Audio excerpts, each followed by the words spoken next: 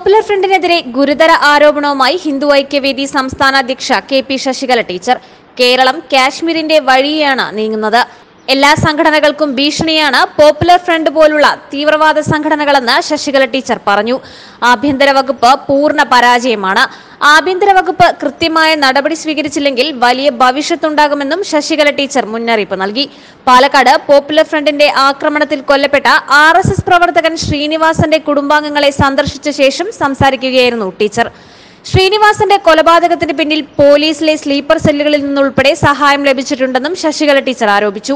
ശ്രീനിവാസൻ കേസിലെ പ്രതികളെല്ലാവരും S T P I popular front പ്രവർത്തകരാണെന്ന് A D G P Vijay Sakhare സ്ഥിരീകരിച്ചിരുന്നു. അതേസമയം ആക്രമണ സാധ്യതയുണ്ടായിട്ടും ഒരു നടപടിയും പോലീസിന്റെ ഭാഗത്തു നിന്നും ഉണ്ടായില്ല. ഇത്തരമൊരു ആക്രമണം ഉണ്ടാവാതിരിക്കാൻ പോലീസ് കൃത്യമായ നടപടി എടുക്കേണ്ടതായിരുന്നു. എന്നാൽ ആദ്യഘട്ടത്തിൽ നൂറ്റി നാൽപ്പത്തിനാല് പ്രഖ്യാപിക്കുന്നത് ഉൾപ്പെടെ ഒരു നടപടിയും സ്വീകരിച്ചിട്ടില്ല. ഇത് ഇരട്ട നീതിയാണെന്നും ശശികല ടീച്ചർ പറഞ്ഞു. അതേസമയം കൊലപാതകികൾക്ക് അനുകൂല നിലപാടാണ് സർക്കാർ സ്വീകരിക്കുന്നതെന്ന് ആരോപിച്ച് ബി ജെ പി നേതാക്കൾ സർവകക്ഷി യോഗം ബഹിഷ്കരിച്ചിരുന്നു.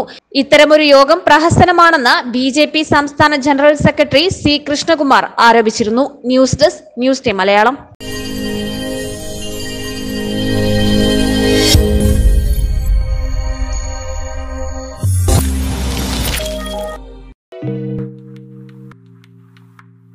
you